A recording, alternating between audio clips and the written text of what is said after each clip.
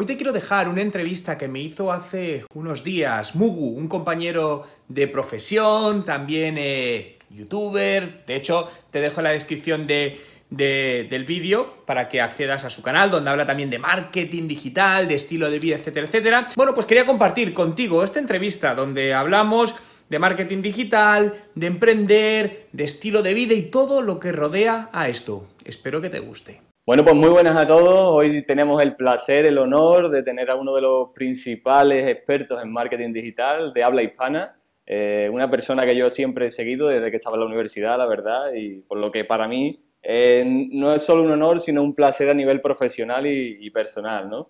En definitiva, si quieres saber de marketing digital, si quieres estar al día de todos estos temas que tanto nos gustan, eh, tienes que seguirlo. O sea que bienvenido Juan, Juan Merodio, es un honor para mí. Gracias. Eh, placer, Tengo varias preguntitas que hacerte, ¿vale? Porque tengo suscriptores que están ávidos de, personas como tú, de dar su opinión. Y la primera, la primera pregunta que se me ocurre es ¿por qué elegiste marketing digital? ¿Por qué poner el marketing digital en tu vida y decidir que mm, tu vida va a dedicarse simplemente a, esta disciplina, ¿no? ¿Cuál es tu magia? ¿Qué, qué le viste? A ver, pues realmente, bueno, llevo prácticamente la mitad de mi vida dedicándome a ello. Yo empecé en el año 2000, que era pues eh, más o menos Internet entró en el año 98 en España, un poco de manera más global. Y en el 2000, estando en la universidad, empecé a ver eso y dije, joder, pues aquí en Internet yo creo que hay muchas opciones de hacer cosas. Y empecé a investigar, a trastear y eso pues eh, me permitió empezar a ganar dinero haciendo distintas cosas en Internet en aquel momento y costearme pues la parte universitaria y, y todo esto. Y a partir de ahí yo siempre tenía claro que no quería tener jefes y que quería emprender, eso desde muy pequeño, ¿no? lo que pasa es que no llegó el momento, pues hasta, hasta cuando llegó, y creía que Internet era el mejor escenario y por eso empecé ahí a, aprender, ¿no? Y en ese momento, pues sobre todo todo de manera autodidacta, porque obviamente no había curso, no había prácticamente nada, y a partir de ahí, pues fue como me metí en este mundo y cada vez me gustó más, más, más, más y más, y ahí, ahí sigo. Yo creo efectivamente lo que comentas, que mucha gente entra a partir de la idea de, la libertad, ¿no? de, ser emprendedor. Y mucha gente está relacionado con el marketing gracias a ello. Por eso mismo eh, tengo muchos suscriptores en el canal que se dedican a montar startups, a intentar montar su idea de negocio. ¿Y qué consejo le darías a esos jóvenes que ahora mismo están en esa fase de dar vida a su proyecto? ¿Cómo, cómo desarrollarse eh, como emprendedor y en el mundo del marketing digital? Vale, lo primero, y esto ya es un tema personal que opino, ¿eh? pero es que no emprendan solos. Creo que emprender solo es un gran error, el cual cometí yo al principio. Eh, no quiero decir que haya que emprender con ocho personas, pero si al final cuando estás tú solo te limitas porque tú no puedes ser bueno en todo, entonces va a haber cosas que se te van a escapar. Entonces búscate a alguien que te complemente en tus carencias. Creo que eso es muy, muy, muy importante. Lo siguiente a la hora de emprender, eh, tener claro una estrategia, el plan de negocio, no hablo ni de marketing, el plan de negocio, ¿no? Porque creo que se está dando una situación un poco confusa y es que parece que a día de hoy es más fácil emprender y yo no estoy de acuerdo con eso. Creo que es más difícil emprender a día de hoy que hace 15 años. Bueno, no, me explico. Es más fácil emprender, es más difícil tener éxito. Es decir, ahora es más fácil emprender porque Internet te permite poner un negocio, poner un producto en el mercado a un coste inferior que el que hace 10 o 15 años, pero la competencia es mayor, por lo que para es más complicado a día de hoy hacer que un producto funcione que que lo era hace 15 años, ¿no? Dicho esto, creo que es muy importante y un error que, se comete muchas veces cuando se emprende es no disponer de recursos financieros. Eh, porque al final, a día de hoy, necesitas dinero para poner un producto en el mercado y cada vez más. El marketing digital muchas veces, y esto me pasa con negocios que de repente dicen, no, voy a ir por lo digital que es más barato. Y les digo, no, no, no te equivoques, lo digital no es más barato. Es decir, requiere de dinero si realmente quieres funcionar, ¿no? Entonces yo les diría que esa parte es fundamental. Ahora, el cómo busques el dinero, pues eso pues eh, lo puedes hacer trabajando en algo y destinando ese dinero, como hice yo en su momento, a montar un negocio. Yo no aconsejo nunca entrar con inversores en una primera fase porque estás vendido. Es decir, si tú quieres emprender y quieres dirigir tú el negocio, no, tienes, no puedes ofrecer nada a los inversores, que una idea buena, pero eso a nivel de números no, no, no tiene venta. Efectivamente. Eh, bueno, yo ahora mismo estoy montando una startup con un, con un socio y la, el sistema que estamos llevando es un sistema de participación. O sea, en este caso es el, él, él es el que pone todo el capital y yo estoy dedicando mi trabajo a cambio de un porcentaje de, un porcentaje de esa empresa. Es una Correcto, sí, pero, claro, pero al final es eso, os complementáis en esa parte, lo que es lo, es lo, bueno, ¿eh? Pero se necesita dinero. Al final esto de poner un producto en el mercado y con 50 euros hacerse millonario, yo no creo en estos milagros. Y Juan, en el marketing digital, ¿cómo ser un buen profesional? ¿Cómo, cómo poder avanzar? Creo que hay una clave y es dedicar todos los días entre una y dos horas a aprender. Y en serio, creo que es eh, fíjate que del pasado se venía acostumbrado que los únicos que tenían que reciclarse eran los médicos, ¿no? Porque, claro, un médico no tenía. Y el resto era como ya estudiar la carrera, el máster y ya tu vida solucionada. Y a día de hoy creo que esto ya no es para ninguna profesión y menos para el marketing, con el alto cambio que tiene. Entonces, yo siempre digo, a la gente: tienes que dedicar entre una y dos horas al día a formarte.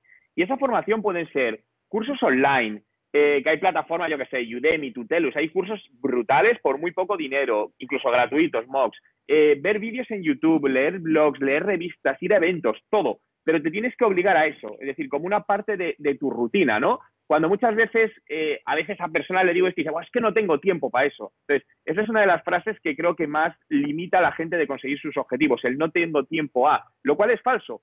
al final es una manera de autoengañarnos. Creo que es como colocas todo el tiempo. Es decir, a lo mejor estás dedicando más tiempo a algo que a día de hoy no lo necesita, ¿no? Y a lo mejor dedicar dos horas a formarte puede hacer que tu proyecto de marketing digital, lo que sea, despegue. Y eso creo que es la clave de todo. En relación a esto, decir que, tienes un, grupo, tienes un club de marketing privado que precisamente va, yo creo, orientado a lo que estás contando, ¿no? A, a esos profesionales que tienen que estar constantemente reciclando su información diaria y yo soy uno de los que estoy en esta plataforma. Me gustaría que contaras a la gente para quién va dirigido y por qué la gente tiene que entrar en, tu, grupo privado, que lo pueden encontrar en la descripción del vídeo. Sí, en Patreon. Pues mira, esta idea la vi hace, porque en España o en, mercados latinos no españoles, no es muy conocido, es más anglosajón, pero me pareció una buena idea eh, como canal para ofrecer contenidos exclusivos que no hago públicos, donde, eh, y luego ofrecer servicios de mentoría para pequeños empresarios y pequeñas empresas que muchas veces no pueden permitirse los costos iniciales que pueden tener consultorías o auditorías, ¿no? Entonces, mi idea era abrir este pequeño hueco y, joder, que quien pudiese, dice, oye, yo necesito, pues yo qué sé, todos los meses hablar con alguien que me ayude en cómo voy mi, mi, negocio y a lo mejor puedan gastarse 40 euros al mes. Tener esa opción, que creo que era una cosa donde no está. Y nació con ese objetivo, nació con ese objetivo y al final, pues creo que la gente eh, lo está valorando porque al final todo lo que comparto por ahí, que como digo, no lo hago público en ningún sitio, viene todo sacado de estrategias que las pruebo conmigo, con mis clientes y que sin lugar a dudas, si las implementan, van a tener resultados en su negocio, vamos, segurísimo. Estupendo. Oye, tu faceta como youtuber, tengo que, tengo que preguntarte. o sea, eh, yo sé que tienes el canal desde hace bastantes años, lo que pasa que yo creo que he notado un cambio de estrategia eh, desde hace un año aproximadamente y para mí muy positiva, me inspira, la verdad, tienes una forma de enfocar YouTube que para mí es diferente y me gusta mucho porque me identifico contigo. Y nada, quiero que me cuentes un poquito qué, tal te va tú, ese youtuber. Pues mira, sí, como lo dices, yo creé mi canal ya hace siete años así y subía vídeos uno, dos, tres al mes, ¿no? Pero realmente me puse, por decirlo de alguna manera, yo soy muy obsesivo con algo y creo que la base de conseguir algo es obsesionarte con ello y ir a lo bestia, ¿no? Y hace un poquito más de un año dije, bueno, me voy a poner a compartir contenidos en vídeo porque al final cada vez el vídeo se consume más y empecé a hacer un vídeo diario eh, con distintos contenidos, he ido probando, etcétera, etcétera.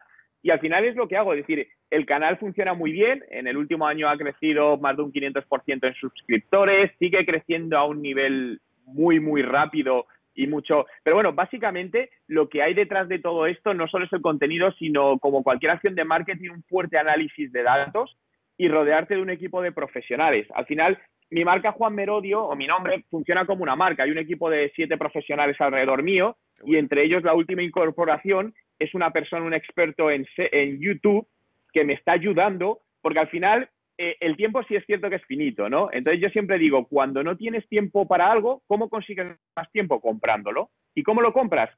Rodeándote de gente que te pueda ayudar. Entonces, es, es, una persona que me está ayudando a analizar mejor los datos, a ver mejor las estrategias y tal para, bueno, para hacerlo crecer todavía más rápido. Entonces, yo estoy encantado y luego es que además es algo que me encanta, ¿no? Y cuando ves además que la gente lo agradece, que dice, joder, eh, gracias a tus vídeos he hecho esto, ostras, y me han incrementado las ventas. Joder, pues la verdad es que da mucho, da gustito. Totalmente de acuerdo. Ah, se ve, se ve que disfrutas, ¿eh? Se te nota. Eso no se puede falsear. Que, bueno, y, y esta tarde me gustaría preguntarte una cosa porque tengo clientes que, que dudan si usar una estrategia de vídeo en su estrategia de marketing, ¿no? Entonces, ¿tú recomiendas siempre a tus clientes que, se, que implementen un plan de, de vídeo en su plan de marketing? Sí, siempre. Eh, ¿Qué sucede? ¿Por qué digo que es el buen momento? Lo primero, porque si te pones a parar y ver las empresas que implementan bien video marketing, no hay casi ninguna. Y te incluyo las grandes empresas. Es decir, una empresa como Nike tiene solo 700.000 suscriptores en YouTube. Es de vergüenza. Vale, dicho esto, hay unos agujeros de mercado en YouTube brutales, donde todo el movimiento está por gente, por youtuber, por, por gente que genera contenido. Eh, muchas veces se escudan en que es que su público no está ahí. Eh, te digo, estoy totalmente en desacuerdo. Es decir, trabajo con canales B2B y llegamos a público por encima de 45 años a través de YouTube y genera ventas. Entonces, al final, el vídeo está creciendo muchísimo. Eh, ¿Qué sucede? Que generar contenido para vídeo requiere de mayor inversión en todos los sentidos. Es decir, hacer un post en tu blog es hacer un post. Ahora, hacer un vídeo bueno es eh, crear guiones, producirlos, grabarlos, subirlos, optimizarlos. Es decir, lleva muchísimo tiempo.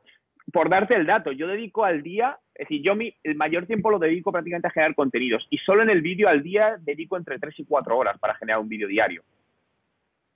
Tienes tiempo, tienes tiempo. No, pero es un poco, a ver, es un poco lo que te decía antes, ¿no? Cuando le digo a un cliente esto, me dice, yo no tengo tiempo para eso. Digo, vale, y si esta estrategia te hace crecer en ventas un 35%, ¿a qué sacas el tiempo y dejas otra estrategia? Joder, pues si lo miramos desde ese punto de vista, lo que pasa es que muchas veces decimos, no tengo tiempo para eso, dando por hecho que eso no es importante. Entonces yo ahí es donde digo, para, analiza y vemos qué hacemos. Totalmente.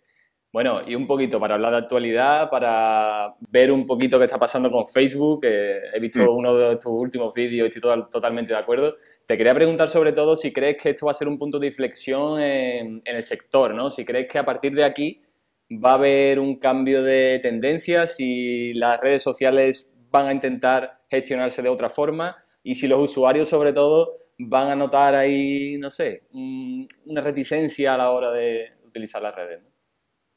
Yo no lo creo. A ver, creo que los culpables somos los usuarios. Es decir, y hay mucha gente que aquí hay distintos puntos de vista, obviamente, pero vamos a ver, eh, nada es gratis en Internet, eh, la cultura del todo gratis en Internet está haciendo mucho daño en muchos sentidos, y quien se pensase que Facebook le daba esto gratis por su cara bonita, es decir, mm, está totalmente equivocado. Creo que cuando ponemos en la balanza lo bueno que ha hecho Facebook y lo malo, eh, para mí pesa lo bueno mil veces más que eso no justifica las cosas malas que ha hecho y que tenga que pagar por ello. Pero al final Facebook ayuda, genera millones de puestos de trabajo, eh, y directos e indirectos, ayuda en causas eh, o en desastres naturales, eh, mantiene a la gente informada. Entonces, yo creo que realmente seguimos siendo súper inconscientes de que nos bajamos aplicaciones, no leemos las políticas de privacidad, aceptamos todo. Ahora se está cargando contra Facebook, lo cual no estoy en, eh, eh, no estoy en nada de acuerdo, porque al final, si te pones a analizar lo que están haciendo otras empresas como Google, Google tiene mucha más información de nosotros que, la que Facebook tiene. De hecho, si te bajas el archivo de Google eh, de cada uno, vas a ver cómo pesa varios gigas, mucho más de lo que pesa el de, el de Facebook. Y muchas aplicaciones que nos instalamos para hacer tonterías con el móvil de memes y tal, están chupando datos. Entonces, al final no seamos ingenuos y seamos conscientes. Y si no, que todos paguemos 10 euros al mes por utilizar una red social. A ver cuánta gente lo pagaría. poquita, poquita. Bueno, Juan, ha sido todo. No quiero robarte más tiempo. Eh, espero, de verdad, te lo digo de corazón, desvirtualizarte algún día porque era una de mis ilusiones poder Voy a, voy a Sevilla. Pues por favor avísame, dime dónde y cuándo, que voy con mi cámara para allá. Y, y, nada, que aquí nos despedimos con los purgales hacia arriba, ¿vale? Ah, vale. Estamos conectados. Dale a like si os ha gustado el vídeo. Dale también las gracias a Juan, pasarse por su canal si no lo conocéis, por favor, que eso es un sacrilegio. Y nada, nos vemos pronto, nos vemos la semana que viene, nos vemos en próximos vídeos. Gracias.